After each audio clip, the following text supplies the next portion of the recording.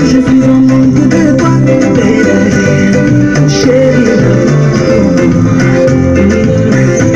Il m'arrive aussi parfois de penser que vivre loin de toi serait mon cauchemar de toujours. Je ne pense plus qu'à toi aujourd'hui.